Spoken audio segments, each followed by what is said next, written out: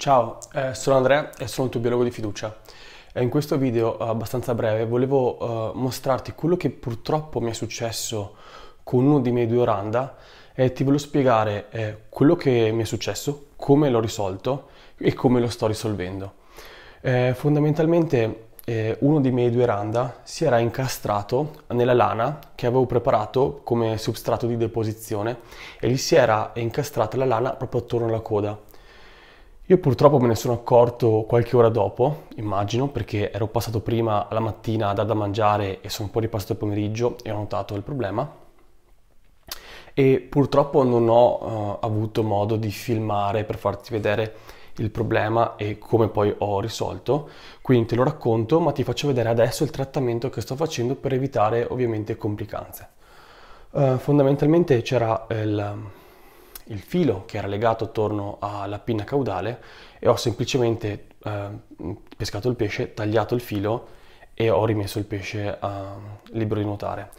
Eh, mi sono accorto che quindi poi il filo ovviamente aveva lacerato uh, parte comunque del tessuto epiteliale e, e di conseguenza per, sto cercando di fare dei trattamenti che aiutino la cicatrizzazione, quindi poi la, la totale rimarginazione della ferita e che comunque prevengano uh, eventuali uh, infezioni secondarie, quindi batteriche o micotiche.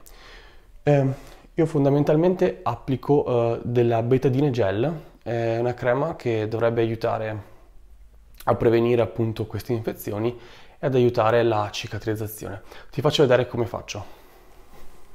Ok, eh, eccolo qua, eh, questo è il pesce ferito, eh, adesso spero si veda tutto bene e si senta bene. Adesso lo pesco, gli applico la, la crema, eh, che è questa. Um, um, utilizzo dei guanti per evitare di stressare, lesionare troppo il pesce uh, e per evitare ovviamente anche io di eventualmente prendermi delle infezioni.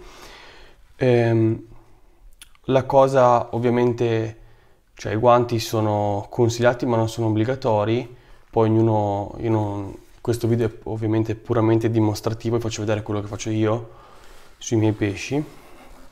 Mm. Ora cerco di pescarlo senza stressarlo troppo e, e applichiamo la, la cura.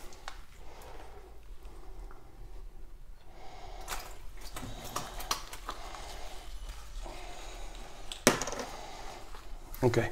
Questa è la lesione eccola qui.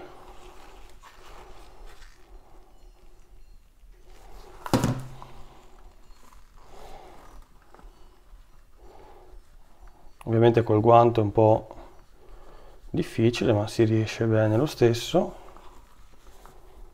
Ok ed ecco il prodotto applicato. Più o meno insomma l'importante è aiutare e non non voglio di certo, cioè dovrebbe semplicemente aiutare la cute lesa a, a rimarginarsi e a evitare insomma problematiche in futuro.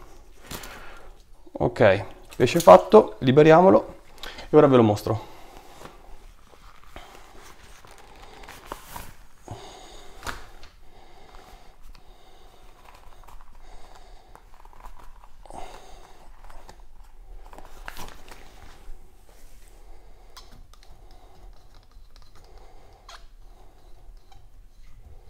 Eccolo qui appena rilasciato mi sono tolto i guanti e ho iniziato a filmare e ovviamente adesso è leggermente stressato questa cosa gliela faccio una volta al giorno e questa è la lesione se si vede un po' eh, sì. e poi magari tra qualche giorno uh, la pulirò leggermente con un cotton fioc e un po' d'acqua ossigenata giusto perché vedo qui si vede leggermente c'è ancora uh, non capisco se sono delle scaglie rialzate dovrei vederlo un po' meglio eccolo lì c'è qualcosina e magari riusciamo a sistemarlo meglio. E purtroppo sì, si, era, si era incastrato in uno di questi li avevo tagliati tutti eh, in modo tale che non formassero appunto questi anelli che potessero incastrare i pesci però si vede che qualcuno mi è sfuggito e, ehm, sono molto stupido, ho sbagliato e ovviamente adesso eventualmente magari li, li tolgo anche se eh, il mio scopo ovviamente era quello di riprodurli, quindi far sì che loro utilizzassero questo substrato per la deposizione. Comunque il pesce mangia, eh, eh, rispetto al primo giorno in cui era molto rosso e infiammato mi sembra star meglio, questo è il terzo giorno e, e vediamo. Ecco, ehm, ti ho fatto vedere quello che faccio per il pesce. E il mio obiettivo era di portare ovviamente ehm, una riproduzione di questi oranda, ma vediamo se adesso riuscirà comunque a riprodursi.